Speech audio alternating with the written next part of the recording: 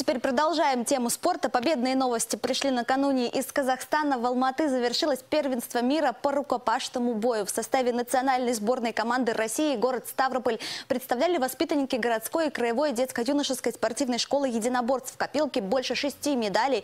Ставропольские рукопашники в очередной раз подтвердили статус сильнейших в мире и России. У меня в гостях два представителя сборной России. Магомед Абдулаев, серебряный призер первенства мира по рукопашному бою в возрасте 18-21 год.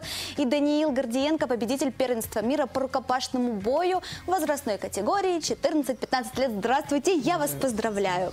Спасибо. И очень рада вас видеть. Вот знаете, за что я люблю свою работу? Потому что я смогу подержать в руках вот можно, пожалуйста, вашу медаль хотя бы, не, не, хотя бы вот так вот подержу на вас. Как приятно держать в руках золотую медаль, уважаемые друзья. Никогда бы в жизни не подержала, если бы не вы, Даниил. Итак, рассказывайте, как проходил чемпионат? Что это было? Каково это участвовать в, в таком крупном событии? Первенство России все-таки. Ну, Было, если честно, очень волнительно в первый день после взвешивания, потому что такая обстановка необычная. Много человек, зрителей.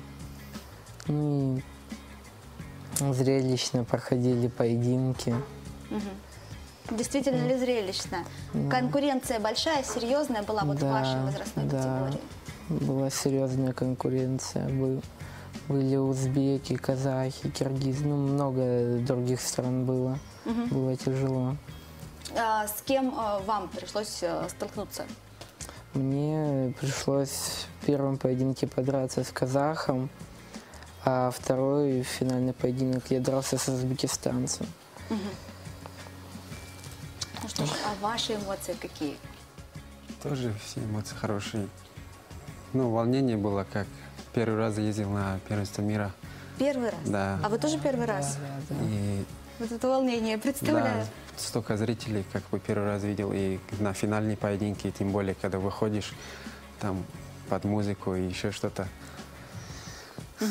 Ну, пришлось как бы, да, пе- пережить это все, как бы, да.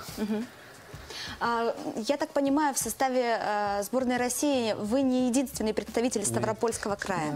Кто еще? Пер- первое место у нас заняла Седа Докудаева.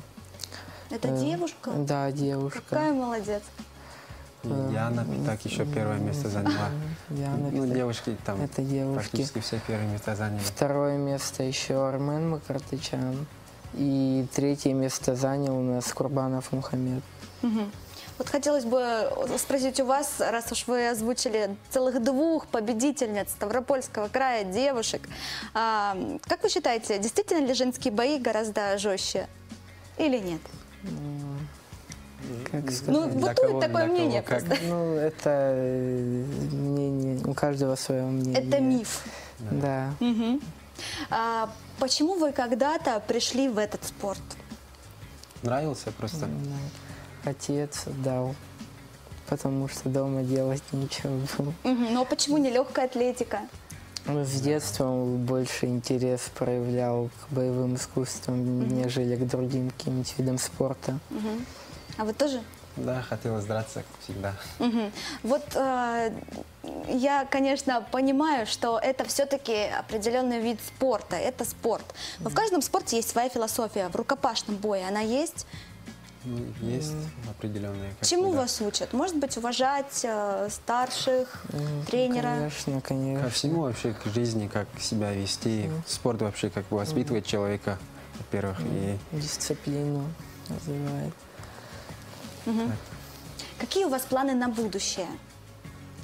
дальше тоже так же Не выступать, останавливаться. представлять, Ну, во-первых, Ставропольский край, потом и страну по возможности. Может быть, э, чем-нибудь другим э, параллельно с рукопашным боем хотелось бы заниматься? Ну, дальше видно будет, как, если понравится. По, Так, пока что планируем по рукопашному бою выступать. Мгм.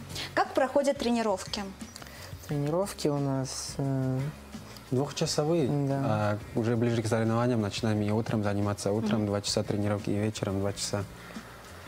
Ну, это как кардио, потом... Да, и Ну, Сначала разминка идет, мы бегаем, упражнения, чтобы не растянуть, ш- повредить что-нибудь. Потом идет отработка, либо в стойке, либо в партере. Мгм. А, на ваш взгляд, а, рукопашным боем нужно заниматься с самого детства или уже взрослый может прийти? Ну, у кого ну, как, один- пойдет, да, можно и да. прийти. Я вот, например, в 17 лет пришел в этот вид спорта. Я с 9 лет. Мгм. Это кто как будет хотеть и упорно заниматься, у того так и получится. То есть главное для победы это, Это три- усердные тренировки. мгм, в меньшей степени талант, в большей степени Да, желание кон- победить конечно, самого себя. конечно. Ну что ж, уважаемые наши спортсмены, я рада вас видеть. Друзья, я напоминаю, это представители э, сборной России, Ставропольский край, и э, впервые они принимали участие в первенстве России и уже с отличными результатами. Серебряная медаль, золотая медаль, и это только начало. Я уверена, впереди у вас большое-большое будущее. Спасибо вам большое, что вы к нам сегодня пришли. Удачи и успехов всегда и во всем. Спасибо. Спасибо. До